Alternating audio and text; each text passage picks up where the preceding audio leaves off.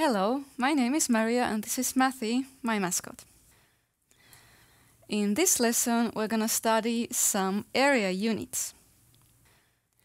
And area is always measured in squares of some size.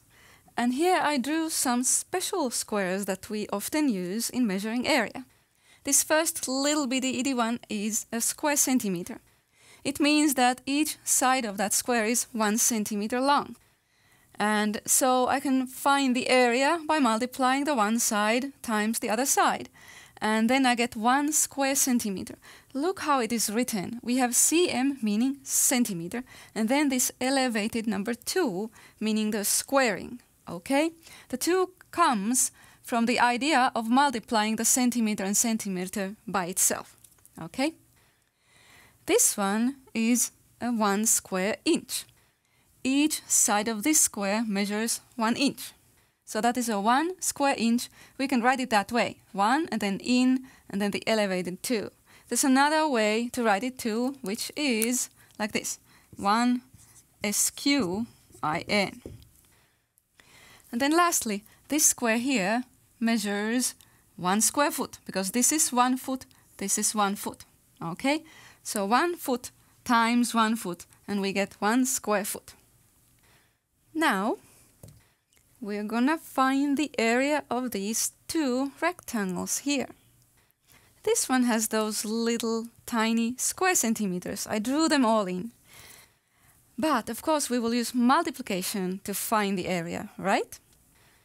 So over here I have 1, 2, 3, 4, 5, 6, 7, 8 centimeters this ways. And then 1, 2, 3, 4, 5, 6, 7, 8, 9, 10 centimeters that way.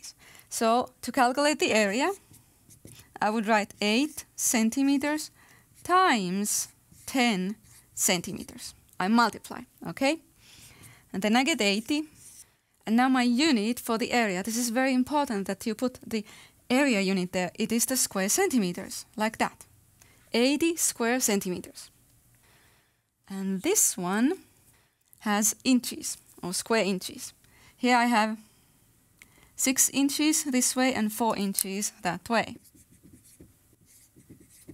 So to find the area, I multiply those. 6 inches times 4 inches.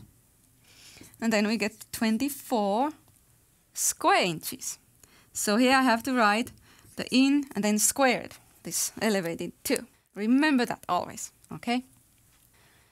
How about the area of this rectangle?